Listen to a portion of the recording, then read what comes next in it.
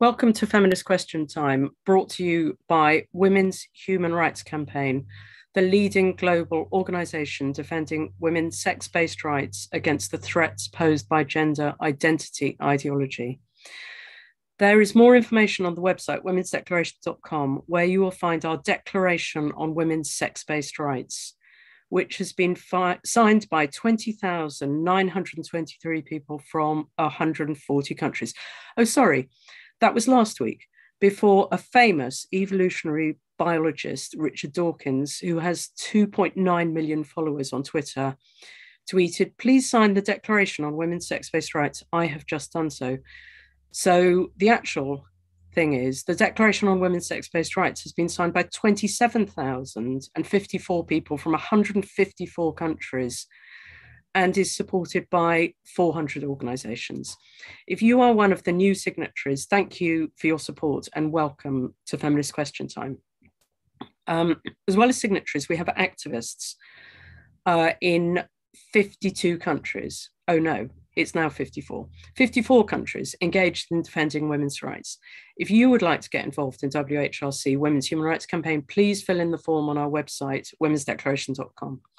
This week on Feminist Question Time, we have Gunda Schumann from Germany, uh, Jennifer Bilek from the United States of America, Jaclynn, Jaclynn J from US living in Taiwan, who's going to tell us about the situation in Taiwan, and Luba Fine from Israel. I'm really pleased to introduce our first speaker today, who is Gunda Schumann. She is from Germany she is has um, she's going to talk about the settlement of transgender ideology in German politics and law in Germany. Uh, Gunda is a lesbian activist from LAZ Reloaded, LAZ Rezo Reloaded. She's a member of the board.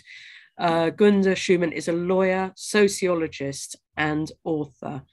Um, so thank you so much for coming and telling us about what's happening in Germany. Over to you, Gunda. I will talk today about four topics. The main title is Emerging of Self ID in Germany. We have a liberal left wing government in the future, and this is very, very real that we will have a kind of self ID law in Germany very soon. Anyway, we try our best to fight against this. So I will talk about four topics. The first one objection by a women's organization called Sex Matters, DE, against the election of a male Green Party politician as a female member to the Deutsche Bundestag, that means to the German federal parliament. Second, a mobbing campaign against Leni Breymaier, a social democratic politician by trans activists, Third, letters by my organization, LAZ Reloaded, to politicians of the working group and the main negotiating group of the coalition parties. Fourth, the coalition agreement of November 24th on queer life. And last not least, some comments on the new state law on law enforcement in Berlin where uh, trans people are going to be admitted to the women's prison. Okay, first point. Objection by a women's organization called Sex Matters, in English, of course, against the election of a male Green Party politician as a female member to the Deutsche Bundestag. Recently, the women's organization, in German it's called Geschlecht zählt.de, has filed a claim with the Electoral Board of Deutscher Bundestag against the election of a trans identified male Green politician as a female member to the Deutsche Bundestag. Before the election, he had not applied for change of sex entry in the state registry, but was nevertheless put by the Greens on a voting list position for women federal and state election authorities mistakenly assumed that person called Markus Ganserer to be female due to his self chosen name, Tessa. The background is a loophole in the federal election law. The women's organization Sex Matters argues that this manipulation of voters would violate democratic and procedural principles and damage public trust in the rule of law. In addition, statistics about the female share of members of Deutscher Bundestag would be faked, and all efforts to enhance the female share in political bodies thus become obsolete at highest levels. Finally, that policy runs counter to the constitutional obligation by the state to achieving equality between women and men. We are curiously waiting for the decision by the Electoral Board of Deutscher Bundestag. I will report to WHRC in the future about this. Second, mobbing campaign against Leni Breymaier, social democratic politician by trans activists.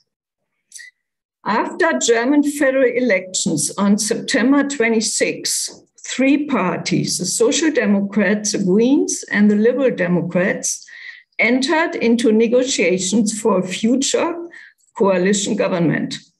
As a first step, 22 working groups got established containing members of all participating parties to outline the future coalition agreement.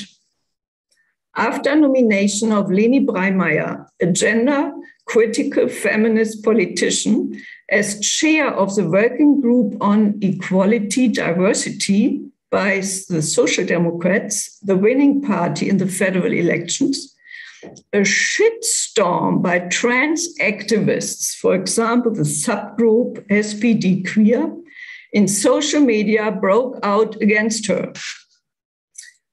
On October 20th, LAZ Reloaded forwarded a letter to the General Secretary of SPD, Lars Klingbeil, and the group chairman of SPD in the federal parliament, Dr. Rolf Mützenich, requesting to keep Leni, Breymaier in that prominent position as a feminist politician of outstanding merit. Shortly before the working group was going to kick off in late October, Leni Breymaier, nevertheless, has been replaced by Petra Köpping, a specialist for sexual and gender diversity issues, as chair of the working group. On November 2nd, LAZ Reload forwarded a solidarity address to Leni Breymaier expressing its support during these stormy times. She was still in charge for sex equality issues, however. Leni Breymaier was grateful for the support of LAZ Reloaded. Third, letters by LAZ Reloaded to politicians of the working group and the main negotiating group. On November 6, LAZ Reloaded sent a letter to all members of the working group, Equality Diversity, stressing the fact that the bill on self ID submitted by the Greens and the Liberal Democrats in 2020 to the federal parliament would not be compatible with the constitutional rights of women, in particular lesbian women, regarding equality with men.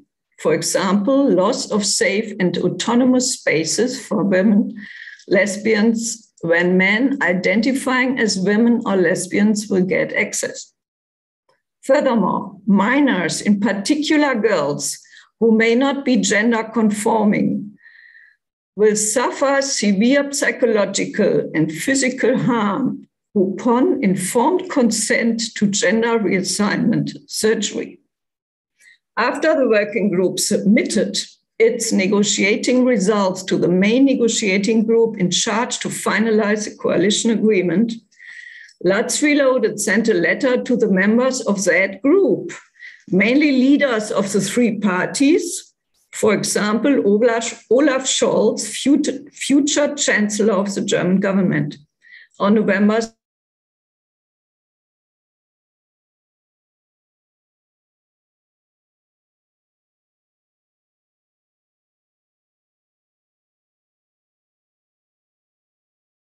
autonomous spaces for women lesbians. lesbians in particular would increasingly suffer sexual violence by so called trans lesbians. Equality of women lesbians would be hampered and their right to bodily and psychological integrity threatened. Before a so called self ID law could be enacted, LAZ Reloaded is requesting a broad, evidence based discussion about the amendment of the so called Transsexuellen Gesetz in Germany, the Gender Recognition Act, and the admission of gender reassignment surgery of minors, taking into consideration the massive impairment of women's, lesbians, and children's rights. As a result, competing rights of women, in particular lesbian women, and the protection of minors would have to be reconciled with the rights of trans persons, guaranteed under the German constitution as well. Fourth topic coalition agreement of November 24th on queer life. The coalition parties will replace the Transsexuellen Gesetz by a new self ID law that would include change of sex entry in the state registry, basically by self declaration.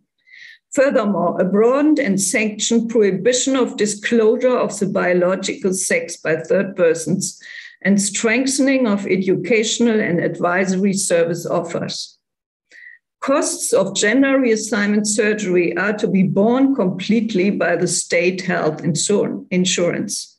However, the text does not disclose whether also minors may change their sex entry in the state registry and whether they may consent to gender reassignment surgery. Furthermore, the law on protection against conversion therapy of 2020, including trans kids, will be tightened. Even guardians would face legal punishment if they try to convert their trans kids. LAZ Reloaded will, together with other women's organizations, organize and or participate in public protests against these intended legal changes, severely impairing women's, in particular lesbians' lives. Fifth point, the state law and law enforcement Berlin.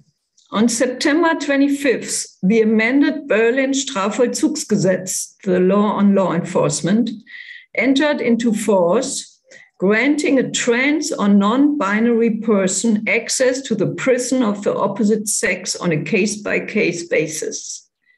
Besides personality and needs of the trans person and the incarceration target, criteria such as needs of the other prisoners, as well as guarantee of security and order of the institution, would have to be considered as well. The law was initiated by the Berlin Justice Senator of the Greens and amended without public debate. LAZ Reloaded heard about it only afterwards. LAZ Reloaded will try to find out by members of the State Parliament of Berlin whether these new provisions have been applied already and what the experiences have been so far. Thanks a lot. Finally, I would like to announce that LAZ Reloaded is a registered trademark since yesterday. Okay since we are very often attacked by trans activist organizations, we will have now a very forceful tool to fight against this uh, terrible attacks. Thanks a lot. So, our next uh, panelist today is um, Jennifer Bilek from the United States. Jennifer um, many of you will know this, but I'll say anyway, is an investigative journalist, artist, and activist living in the United States. She's author of the 11th Hour blog, examining intersections of transgenderism, technology, and capitalism, and reporting on the global gender industry. So we're really happy to have Jennifer on today to chat and to tell us about her work and sort of her insights. Um, into what's happening. Um, so thank you so much for coming on, Jennifer. And um, I suppose the first thing for some some people might not know about Eleventh Hour blog. So could you tell us what what Eleventh Hour blog is and what you've been doing with it, and what you focus on? the 11th hour blog i started about three years ago now and um, i was writing about this issue since probably 2013 i came at it because i was working for an environmental organization where people were being um, censored from speaking about the environment um, and biological reality so um, they had asked me to secure some venues for them in New York, and I did. And very quickly, they were um, disrupted. The venue organizers called me and said, "No, actually, we can't um, platform these people." And you know, and I knew it was over this issue because they couldn't speak anywhere else either, which is why they enlisted me to get some venues for them. And so I realized very quickly this is an awful lot of power. Uh, you know to censor people in this way and um so and you know i'm an american so anything powerful is attached to money so i of course think money you know and i went looking for the money and some people were already talking about this very sort of peripherally um and so I picked up on a couple of threads and I just went looking around. And the more I looked, the more I found. And I realized that a lot of other people were still talking about uh, identity and gender and how that plays out socially. Um, and not really a whole lot of people were talking about the industry behind this juggernaut. Um, and what was moving it. So that's why I started the blog because I, I kept finding more and more information about this. And and I wanted to expose that to other people and get the conversation moving more in that direction. Because though rights are really important, um, and they, you know, women's rights are being decimated around this. Um, I think that most people aren't really like in mainstream they really aren't connected to women's rights. Feminism isn't really in the mainstream anymore. Corporate feminism, perhaps, but not like radical feminism. And the analysis of feminism is not really in mainstream culture anymore. And most people, I think, think, you know, women in the West, you know, especially white women in the West, aren't really oppressed anymore. They have all their rights already. What the hell are they screaming about? Right? So it's not really getting through to people because the propaganda machine on the other side is so intense. They have all the money, they have all the power, they have all the tech, and they're driving it 24 7. My understanding from reading your uh, blog and uh, the stuff you write is that the money seems to be um, sort of accumulated by via big pharma, sort of some pharmaceutical sources, but then also some, it's just some people who have a lot of money. So it seems to be possibly creating markets for the for the future. It might be a form of marketing, this ideology, but then also uh, ideologically driven by people who want to change society because they believe in something. But is that absolutely? Can you tell us more accurately what you think's happening? Most of the operators, the drivers behind this are gay, elite gay men and men with the fetish of autogynephilia, which is possessing women's biology for themselves. Um, and that seems to have been rebranded under this umbrella of transgenderism. I mean, autogynephilia and adult male fetish is a very hard sell, especially to the youth who this project is really trying to capture. The, um, the whole thrust of this thing, I mean, to really just sort of simplify it and sort of, you know, take out the white noise, I call gender ideology an ideology of disembodiment. It's selling people on disembodiment. And transgender is really just the ad campaign. And they've made transsexualism, which is disembodiment and objectification of female biology, sort of cool you know, by rebranding it to transgenderism. Um, and people are really focused on, you know, they've sort of accepted that narrative instead of going on the offense and going like, what does that mean? What is transgender? Like, and what happened to transsexualism? And why was this added to the LGB? and you know who's behind this and what's this going to do for us like nobody asks any of these questions they just accept the narrative right yeah. And that's a dangerous narrative to accept. Yeah. you know because now we're in a position of arguing for women's rights versus transgender rights when in actuality there's no such thing as transgender. It's a it's a corporate fiction. Yeah. Used to sell disembodiment. And so the, the so the I mean, I get why uh, pharmaceutical companies would want to want this environment because they can sell more uh, hormones, and I sort of get why uh, the AGP, the autogynephiles, might want it to be normalized, but I don't quite understand um, what would be driving elite gay men to promote this. And also the other so there's one i don't quite get but you might if you could give us some, insight.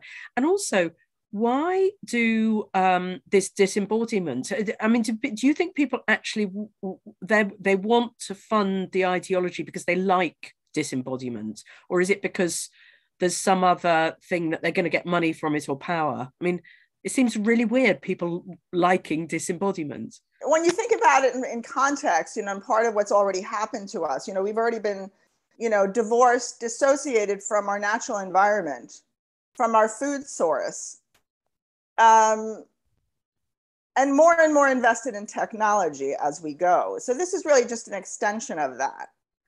Um, and in terms of, you know, uh, why would gay men be interested in this? Um, I don't know that it's gay men in general. I think it's really, you know, elite gay men because it's an investment in the future. If you look at um, what's happening to people, they're being desexed. You know, young children are being desexed with puberty blockers, and then a little bit older children are being desexed with cross sex, wrong sex hormones.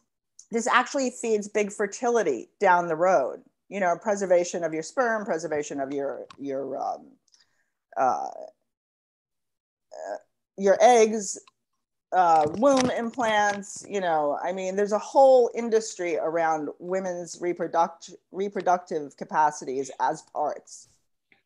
And that industry is growing and growing, right? So if you have all these gender clinics, which weren't there 10 years ago, now there's like 700 in the, um, in the Northern United States, you know, and 300 of those I think are for children.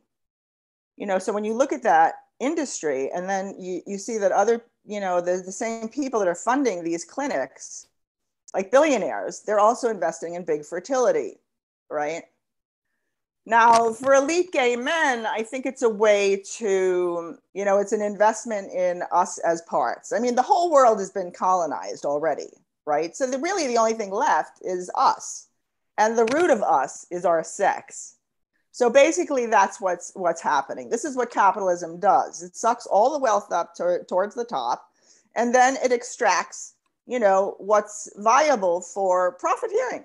Women are in the way of this process. I mean, be, the extraction and the colonization has happened to us. We are it, you know, because yeah, yeah you know, they, we I have. Mean, we were in, in Marxist terms, they'd sort of say, "Oh, we've been dispossessed from the means of production, so all we have to sell is our labour, and we have to go and be wage slaves, and the only way we can fight back is by being in unions and striking and stuff."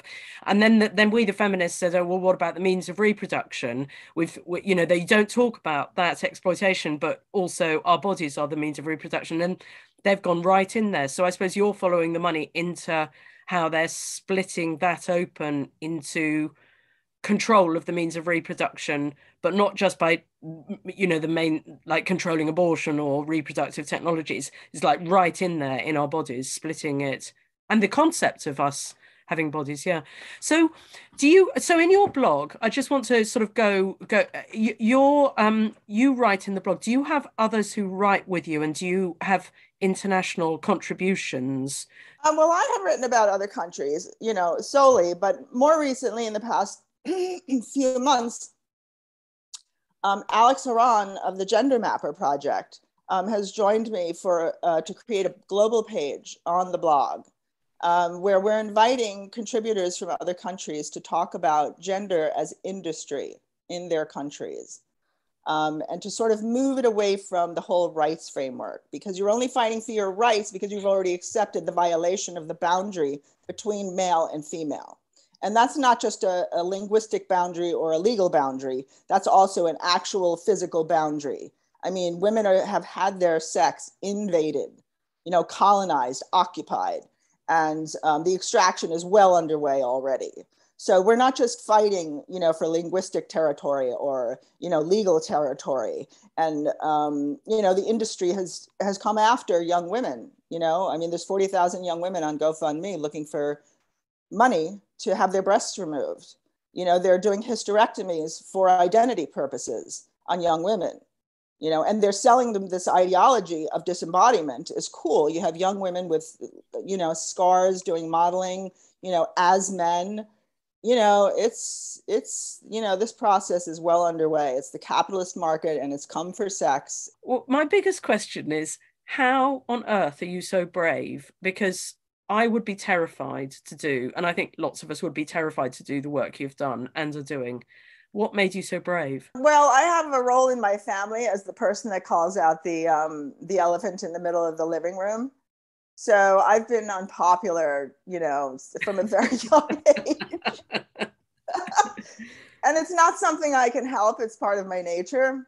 So I've just sort of gone along with that. And also, you know, you spoke about Deep Green Resistance. I was involved with that organization for, you know, several years. And um, they really you know help activists push the the boundary on their own comfort level in terms of speaking and and being an activist and so i learned a lot about that from um, from that organization. And um, you know courage is really a muscle that you have to you know you have to work it or it's not going to work for you. You know it's so if you exercise it and you keep pushing your own you know your own mark further and further then you just become comfortable you know it just gets more comfortable. Wow um, that is so fantastic I, I, suppose i want to go back to this question about what's driving the funders profit or ideology um, to sort of get more of your insight into that these men who are very very wealthy who have a fetish are ones that validated and they have the means to create an ideology around that fetish um, to have it normalized. Um, so I think that that's really driving a lot of this because they are the ones that are sending, you know, billions into cultures all over the world. You know, not just Western, the Western world, but everywhere. I mean, I think the only places that haven't been, com- you know, colonized yet are the stands, you know, Uzbekistan and whatever the other stands are, and Russia you know yeah. but um, there's a political apparatus to drive this ideology globally and it's working very well.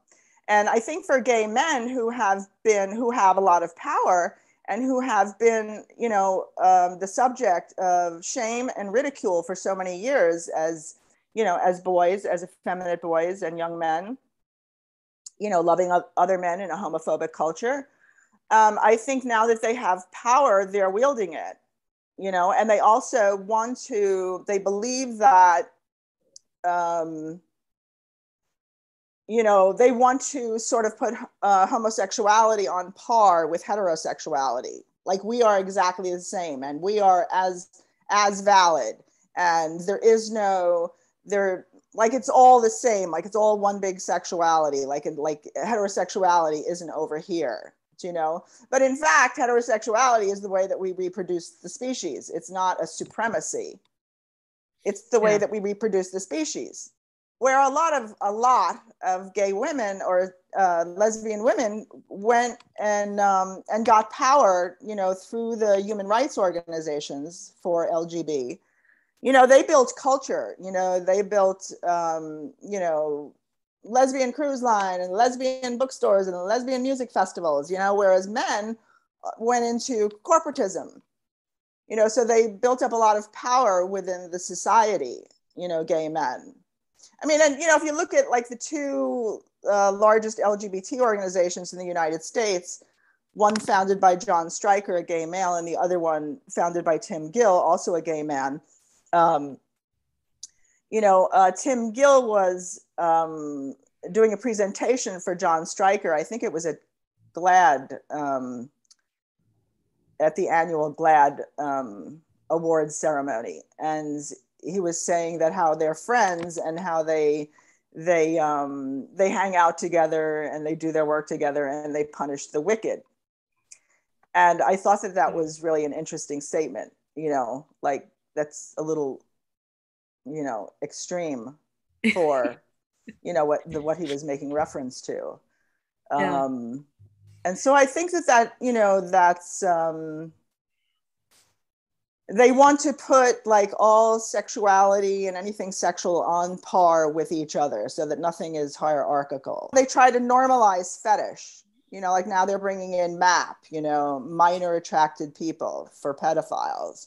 And they're bringing in all sorts of kink. And if you look under the transgender umbrella, there's all this fetishization under there but that's also about commerce because commerce is about you know breaking things into new markets and breaking things apart and breaking them down so that you open markets right? Yeah. so fetishization you know of sex does this.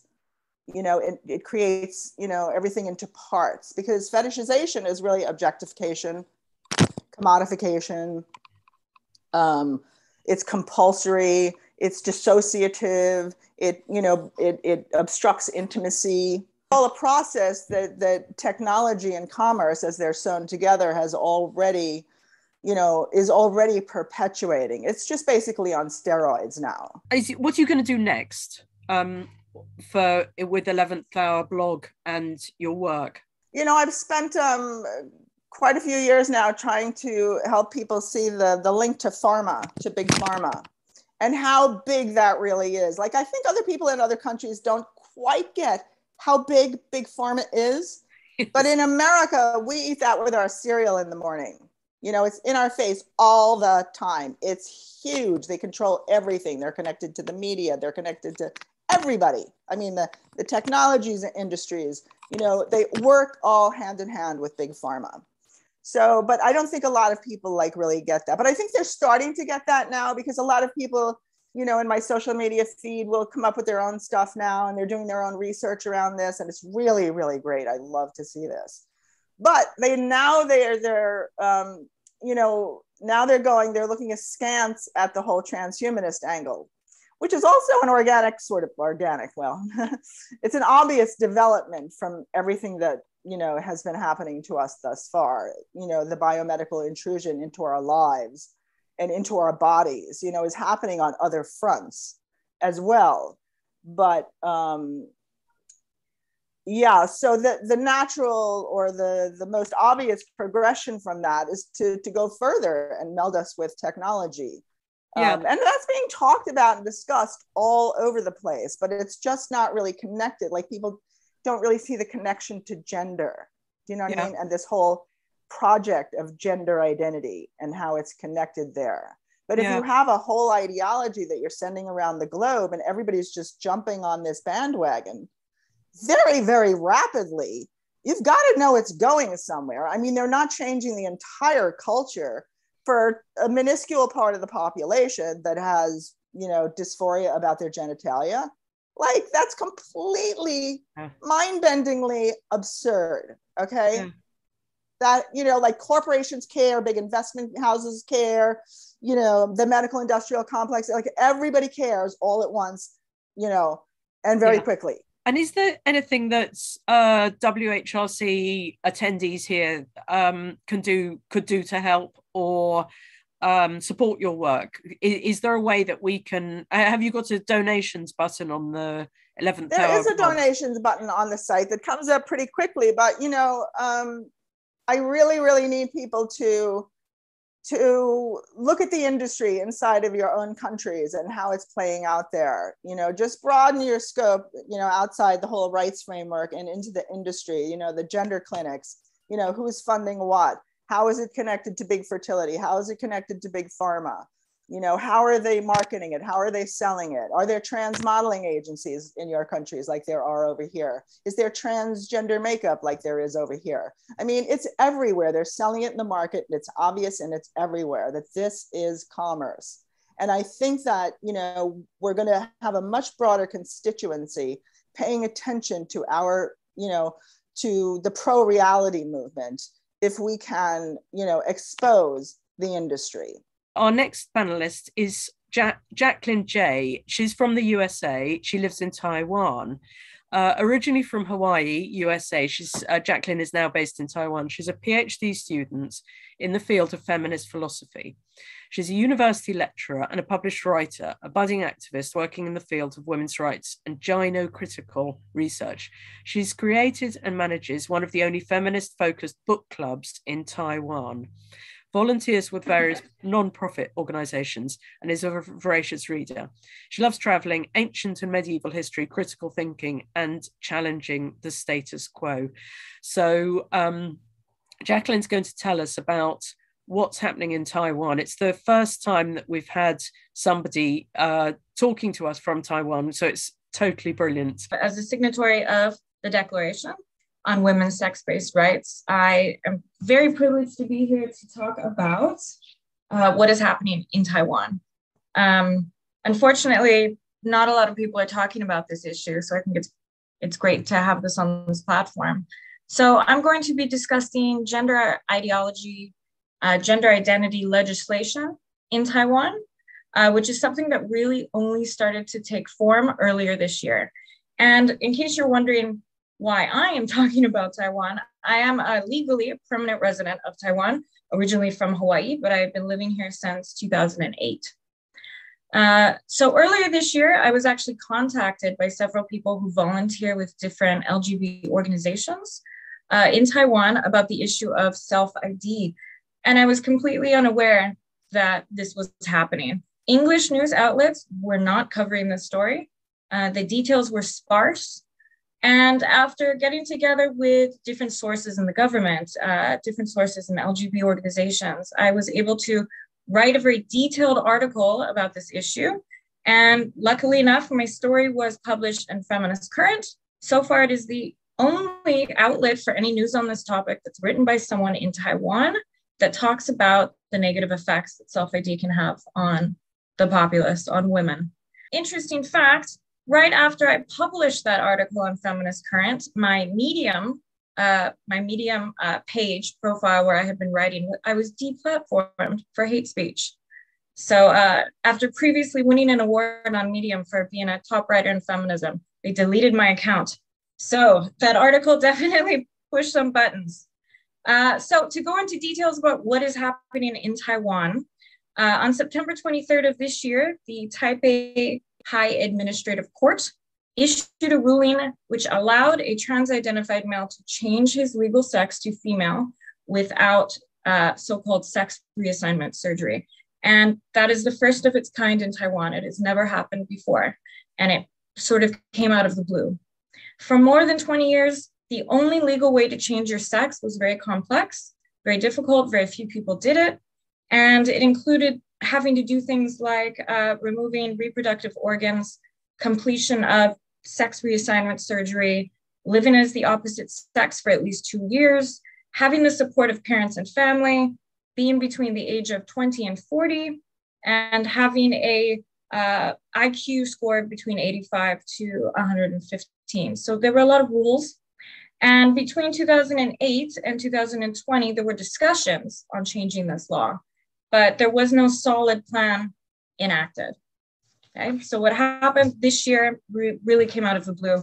And the question I asked myself was how did this ideology suddenly take hold, seemingly out of nowhere? And it appears that certain groups in Taiwan have been working basically in, excuse me, secrecy to make this happen, which I'll explain a little bit more about later.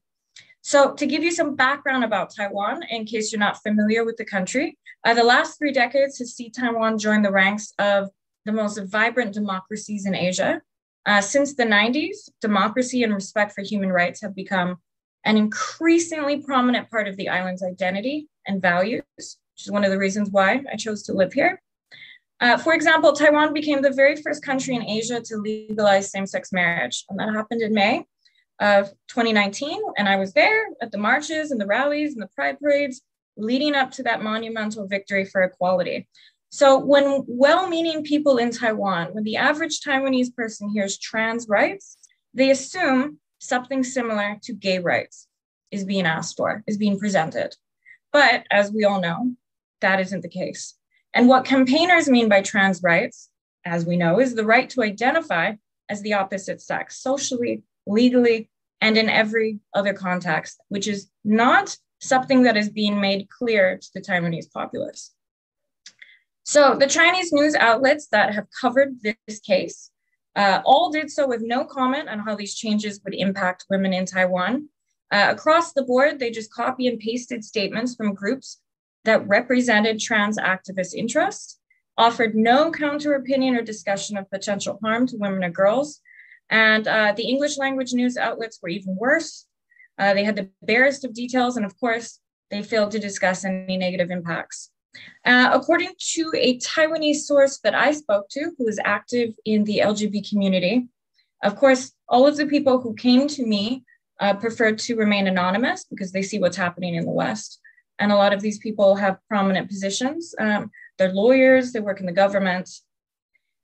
Uh, so last year, uh, Taiwan's highest administrative branch decided to fund research on public opinion regarding gender self ID or sex self ID. But this research is being led, ironically, by a gender studies department at a local Taiwanese university. The project is called the Legalization of Gender Change Requirements and Legislative Suggestions, and it aims to assess public and or LGBT community opinions on self-ID requirements to provide the government direction on possible legislative change. And the research is being compiled through a series of questions conducted online through a Google form. Okay, so according to the sources that I've spoke with who work for the government, the research is strongly biased towards requiring only self-declaration of identity.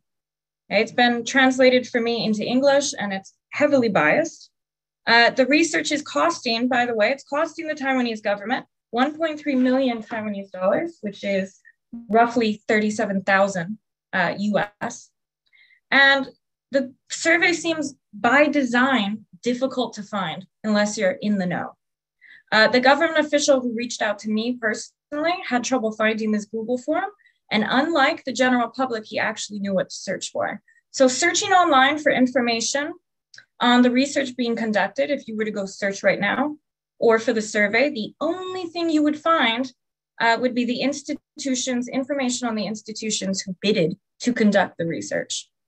The only actual links to the form are found on transgender or LGBTQ related forums. The organizations behind the research, again, Gender Studies Program at Taiwanese University, uh, do not seem interested in including the general public and are heavily biased only in seeking out participation from a very few select groups. Why are they doing this? Convincing people to accept identities that are entirely subjective and have no basis in material reality is not an easy task, which is probably why this recent ruling was a surprise to so many in Taiwan, myself included. If you want everyone to accept your gender identity as valid, then the populace must be persuaded that sex bodies are not material and that gender identities are. And if you think you can't convince your populace then you will try to push through laws without their knowledge and without their informed consent. And it's very disappointing for me uh, living here to see a thriving democracy like Taiwan circumvent discussion on this topic and use sleight of hand to pass a law that will negatively impact its citizens. And it's very reminiscent of its recent authoritarian past under the guise of being exclusive. In yeah inclusive sorry inclusive. And it's disappointing to see that women's organizations here and the general public have been completely left out of the conversation. The government should be able to provide legal protections for trans identified people without eroding the legal status the rights and the existence of women. As we all know language matters because that is how we describe reality and when we erase the meaning of the word woman we erase women the oppression that we as women face and the rights that women have fought for. The good news is there is a huge backlash being felt. A very big backlash is happening. Um, It started on social media. Um, the popular Asian social media platform called Plurk. It's very popular in Taiwan. You may not have heard of it. I hadn't heard of it until recently. They found my, my article on Feminist Current. They took it, they translated it word by word into Chinese. They posted it all over social media. And this was perhaps the first time that many Taiwanese people had even heard of this issue. Um, they've seen the details and had someone actually describe the reality of how this could negatively impact them. so young, liberal, educated Taiwanese people, they want to protect the rights of trans people, but they absolutely do not want to accept self-ID and intact males in female spaces. Uh, many of the Taiwanese that I've spoken to just want to maintain the status quo uh, the status quo being the rules that were in place for the past few decades. Um, so the Taiwanese women who have read this article, they started to form groups to discuss what was happening and they started to organize. They did it very quickly. They started a campaign using the messaging app Line. If you're not familiar with Line, it's probably the most popular messaging app that we have here in Taiwan. Um, and they were telling their friends, their family, members of the community to contact local legislators to complain about this verdict. And, you know, wondering why, why have they been strategically left out of this conversation? So the women leading this online com- campaign against self-ID, I've spoken to many of them. They're highly educated, um, lawyers, women working in LGBT activism, told me that the country's major parties have failed to support women, saying that the current administration has went completely silent after previously pledging feminist policies. So they're using their own time and money and they're fighting back. So, one of the main ways that they have been fighting back is they started to distribute leaflets uh, explaining the ruling and its implications. These are some of the flyers. There, there are quite a few. I'll go ahead and, and show them to you. So uh, they started uh, distributing leaflets like the one that you see on the screen by hand. Thousands of these pamphlets were distributed by anti-self-ID feminists in Taiwan all around the city, um, which was very impressive. They printed out thousands of them, went on their scooters, went all around the city, did it by hand. Uh, concerned citizens also created an online petition to appeal the ruling on self-ID on account of wanting to protect women only spaces. As of, this is great news, as of November 27th, they hit their goal of 5,000 signatures. As of now, it's well over that. And only about 5% of online petitions in Taiwan meet their signature goal. So, very impressive. And as a result, the government is now forced to publicly address the petition and the concerns mentioned in it. This was a, uh, another uh, flyer that was being distributed um, talking about the harms of gender identity, uh, how it would harm women. So I was lucky enough to interview some of these women leading these, these this fight, this new campaign against self-ID, and they wish to remain anonymous, of course, to avoid being targeted for harassment. But they're very eager to get their voices heard because their voices are not being heard in Taiwan. News outlets are not speaking to them their voices, their side of the story isn't being heard. Prior to self ID being pushed in Taiwan, many of these women were not familiar with feminism. They were hesitant to refer to themselves as feminists. Uh, one woman that I interviewed, Miss Liao, who has personally handed out nearly 2,000 flyers warning about self ID, said that I didn't consider myself to be a feminist before this movement hit. At first, I never even heard of self ID and had no idea what it was about. After doing some research, I understood how deep the problem went and how it could really impact us. Uh, another source that I spoke to, Ms. Lynn, said something similar. She said, I didn't walk the street for any feminist issues in the past. I did talk about and argue about feminist gender issues on the internet, but as far as starting a real social movement, this is my first time. I looked up the vocabulary gender critical and decided this is where I stand. Uh, this is probably my favorite flyer because it just gets straight to the point. This one's not pulling any punches. Did you know the first woman with a penis has appeared in Taiwan? And he is able to enter women's bathrooms, dorms, changing rooms, hot springs, etc. And this really made an impact when it came out because, yeah, it's very, very direct. Uh, I asked whether this new form of activism is spreading in Taiwan. And another source, Ms. Chen, said at a certain pace, yes, but obviously not fast enough since it clashes with the recent trend of the LGBTQ inclusive agenda that was forced to be adopted by many mainstream Taiwanese feminists, human rights groups, and the Taiwanese government. So on gender critical movements, feminists don't uh, Taiwanese don't necessarily think that deep into the issue. It looks very distant to the average Taiwanese person, which creates a problem because it's harder to gain momentum when we need to spread awareness. Uh, but since the first self ID verdict showed up, I believe it is possible for this movement to grow and continue growing. Uh, and I actually had a discussion last night uh, with this, the same source, Ms. Chen, and they're in the process right now of setting up Taiwan's first national organization for, uh, I don't think they have a title yet, but gender critical, radical feminist, anti self ID feminism. And they're in the process of setting that up now. This has really galvanized them. And it's really amazing to see what a small but growing number of women can achieve so quickly and under you know adverse circumstances very little support and i think it really reflects the strength of taiwan's women's collective energy and determination and i expect that more and more women are going to be empowered by those that are brave enough to speak out against self-id in taiwan and i really appreciate all of the people that came forward to come and speak to me about this issue and as Jennifer said earlier, and I loved that, courage is a muscle. That's absolutely on point. And Taiwanese women are definitely flexing that muscle right now. And it's really brilliant to see. Okay, well, we're going to go now to our uh, fourth panelist, who is Luba Fine. Luba's from Israel. She is a signatory of the Declaration on Women's Sex Based Rights, and she is not ready yet to talk to us. She's sent off some uh, Freedom of Information Act's uh, requests to find out what's happening more in Israel and is finding out. So, one day in the future, in the next few months, will come and talk to us about gender identity.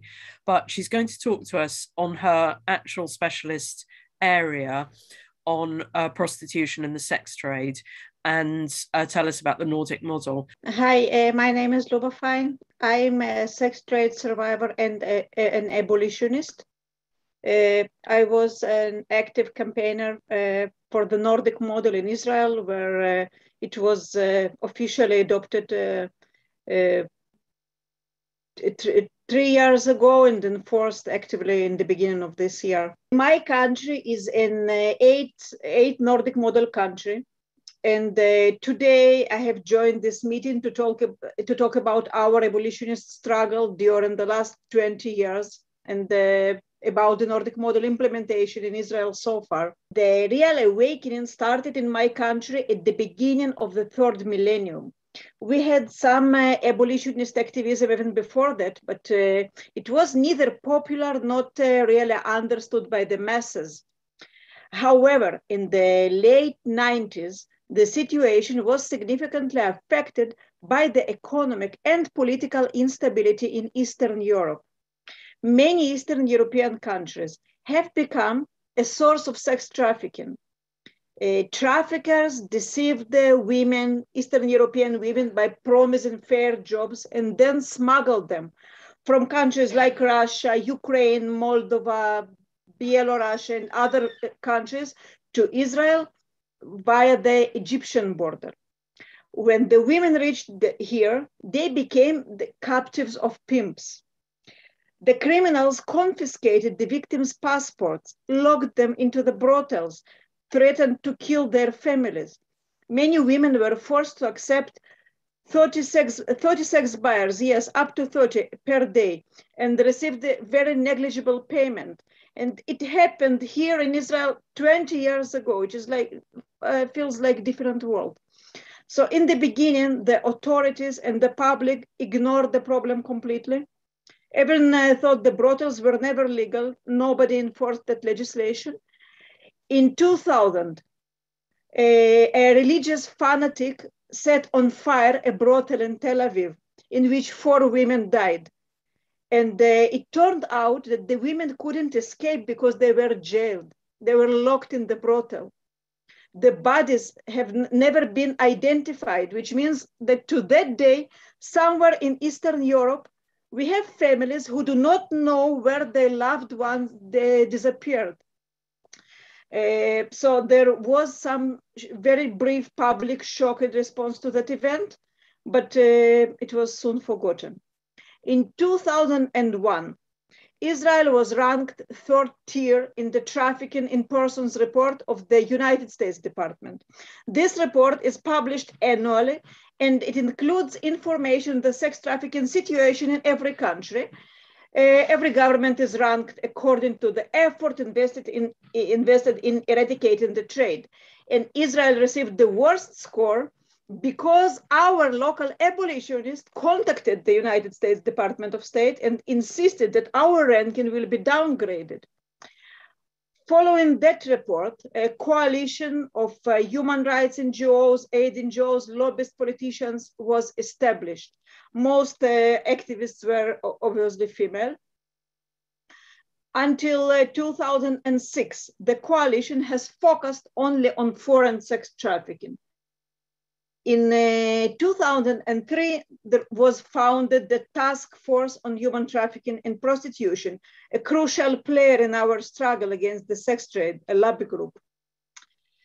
So the anti-trafficking stage of our Nordic model battle ended uh, in 2006 with a significant streamlining of, of anti-trafficking legislation and enforcement.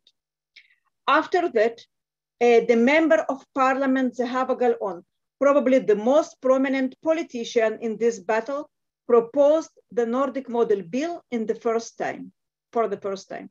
She wanted to leverage uh, the anti-trafficking momentum and promote the general sex purchase ban. But that time, uh, not many people supported it. Right-wing politicians probably ignored it because it was associated with the left wing and uh, many NGOs and even uh, well-meaning individuals felt that uh, solving the foreign trafficking is enough. local prostitution is, uh, is not a real problem. And those days, uh, we didn't have enough examples to follow. Only Sweden enforced uh, the sex purchase ban that time. So since enforcing the Nordic model was not feasible yet, we compromised on intermediate achievements for, for 10 years or so, we just uh, took uh, anything we could uh, achieve, not, not everything or nothing, anything we, we, we could achieve. Uh, in 2008, uh, the authorities uh, funded and established our first exit services. We didn't have sex purchase ban, but we did have exit services more than a dozen years ago. and the, the budget has gradually increased. Uh, another example, in uh, since uh, 2015, there started a battle against strip clubs.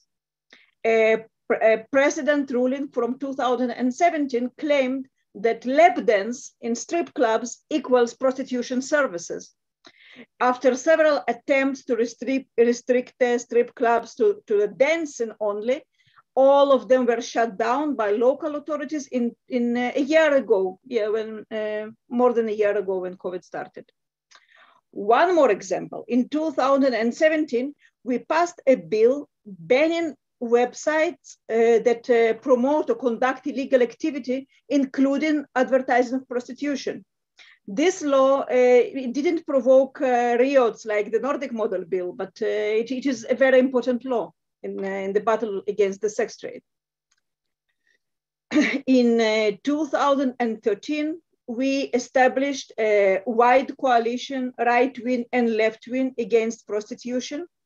Uh, we used a very special framing for that. Uh, like uh, I can say, I read sometimes articles from Scandinavia, and I see that prostitution rightfully framed as oppression of women by men.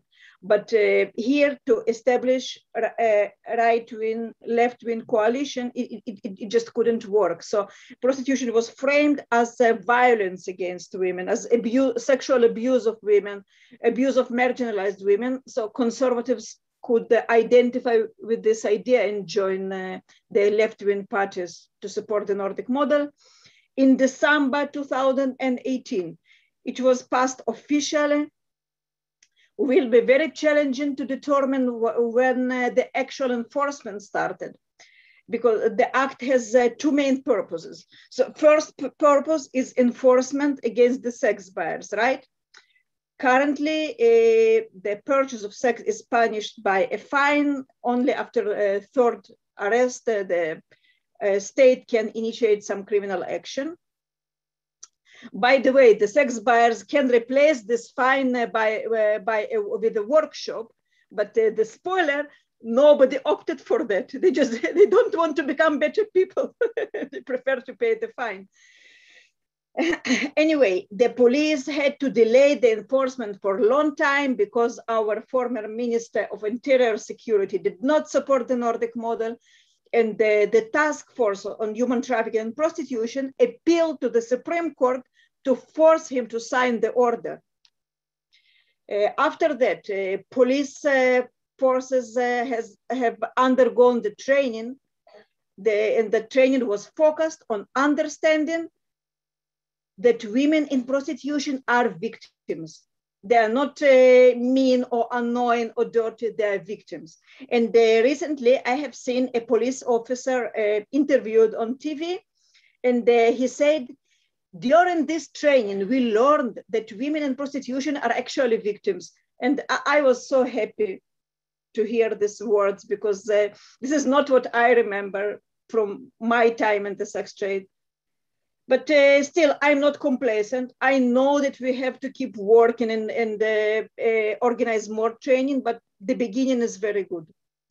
So the first report was handed out to the lucky customer in February, and uh, now we have uh, more than 1,000 reports and counting the second component of the Nordic model in Israel and in general is uh, obviously exit and support services. Again, will be very challenging to point out when this part of the law was enforced because uh, we already had rehab and support services. So we are, we are speaking uh, uh about um, expanding budgets, expanding support services.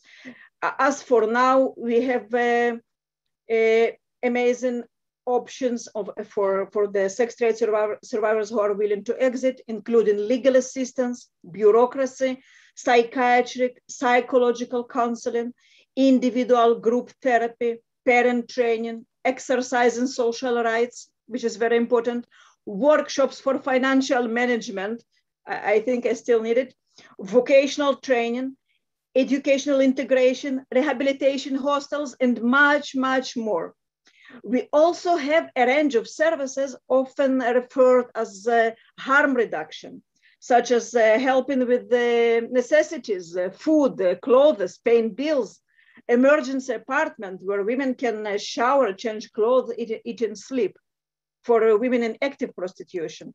And something very interesting, there is a question often discussed whether we, how we should support women who are still in prostitution whether they should be encouraged to exit. And in many countries, especially those that don't believe in the Nordic model, they, they think that initiating a conversation about exit services is judgmental. But our perspective is different, and I, I believe different. Our harm reduction services are offered unconditionally Everyone can get them, no matter what your situation is. The atmosphere is non judgmental, but every woman in prostitution is informed that she can opt for exit services whenever she feels like. And I strongly believe in this approach because every woman in the sex trade should know that others believe in her ability to exit. Sometimes she doesn't dare to, to, to dream of exiting because the self-image and the self-efficacy in the sex trade are extremely low. So hearing from a volunteer or especially a social worker that they believe in you, it can make tremendous change. Uh, while we are trying to get more funding for the existing services, uh, more uh, creative and innovative solutions for the sex trade survivors are coming up. Uh, one such initiative aims to eliminate criminal records for survivors. I know that you have this problem in the UK. in, in Israel, prostitution has never been a, a, criminal offense, but we have many prostitution related violations like attacking a police officer, holding weapons, or ridiculous charges like interrupting the traffic by standing on a road. So because of these criminal records, some of them are ridiculous, some maybe not, but women cannot start opening new page in their life. So we, uh, we help them to delete those criminal records. Another amazing initiative is debt setting. Many women in prostitution exit with large financial debts due to substance abuse, compensatory behaviors, exploitation by pimps and often families, dysfunctional lifestyle, and more and more and more other reasons. So this year, uh, saw the launch of a new project of debt setting for women who exit prostitution. Uh, women participate in the project and they are supported and consulted by the Ministry of Justice, female employee, only female employee who, under, who has undergone special training and that employee helps to reduce the total debt. Some, some parts are eliminated, especially to the institutions. Some parts are divided uh, into installments. And uh, one more project I wanted to uh, mention, which is still under development, a shortened procedure to acquire the disability status in social security for prostitution survivors. I do not know what is going on in your countries, but in Israel, if you want to be recognized as disabled by the National Insurance Institute, you have to be the most functional person in the world. You should be extremely functional because the, the bureaucrat, bureaucratic process is lengthy and uh, torturous. So our aid and support NGOs have warned the national insurance that prostitution sur survivors cannot deal with the committees and psychiatrists. Some of them are not very sensitive. And uh, right now we are working on uh, shortening this procedure so the sex trade survivor can appear to, in, in, to the national institution, National Insurance Institute, with the recommendation from the social worker and get the disability status. This is extremely important. Of course, it is not all optimistic. We have many challenges and obstacles. For example, as the public debate about prostitution as violence it intensifies, more and more women are coming to, to exit NGOs. They turn to aid organizations and we have more budgets and more infrastructure and just never enough. Another problem is attempts to repeal the anti-prostitution laws. There was one appeal to the High Court against the Web Blocking Act. Allegedly, that appeal was uh, by the women who advertised their prostitution services. They all were anonymous but uh, I can understand that. What I cannot understand is that the actual website owners did disappeared from the appeal and from the media. Why? Because because they know that nobody likes pimps, so they hide behind the backs of women they exploit. Anyway, the appeal was rejected, and now we have another appeal by individual strippers who demand the reopening of strip clubs. And again, the strip club's owner owners disappear from the media, from the media discourse, from the court, like it is like they don't exist. So sadly, we don't have time to talk about all our channel challenges, but I can say that we will stand firm together and will not go anywhere until the last of the brothels shuts down. The two topic, gender identity and uh, uh, sex trade, they are intertwined because uh, I, I, as I understand it, uh, the both issues stem from one big problem, and the problem is violating female boundaries, the gender ideology. And the pro-sex trade movements, they are extremely focused on uh, violating female bo uh, borders and feminism, radical feminism. Sex trade abolitionism is all about our borders. We, we will decide uh, the access to our bodies cannot be purchased. Access to our uh, in intimate spaces cannot be negotiated. So obviously there always will be a big clash. And, uh, and another uh, like another common ground between uh, the two uh, very toxic movements is uh, objectification of women. When a woman is an object, you can wear her, you can pretend to be her, you can play her, and you can also buy her because she is not human. Her body, the access to her body, again, can be purchased and negotiated. This is a big, big problem in in uh, in country like ours I will uh, come with better conclusions. But right now, we promoted the sex purchase ban only by focusing on on uh, actual victims of on uh, uh victims of prostitution. And uh, I don't want to, to wait for victims of gender ideology. I know that we will have them. 10 years later, we will have them, but I don't want to wait for them.